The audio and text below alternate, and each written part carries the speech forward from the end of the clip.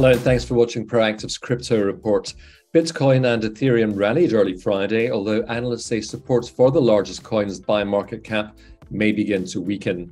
Bitcoin inched higher, gaining close to 2% and still changing hands above the key $20,000 support level. Ethereum, the second largest coin by market cap, rallied more than 3%. According to Avatrade markets analyst Naeem Aslam, the market may see Bitcoin falling back to $15,000.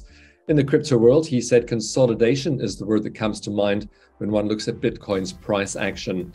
It doesn't give a great deal of confidence to bulls because Bitcoin prices are heavily oversold and we should see much stronger bids for the coin. Still, in reality, he said we see a very small amount of bids that's keeping the price at $20,000 and it's highly likely that this support may begin to weaken. In some of the altcoins, Solana was up more than 5%, and Cardano and Polkadot were up over 3%. Thanks for watching. We'll see you next time.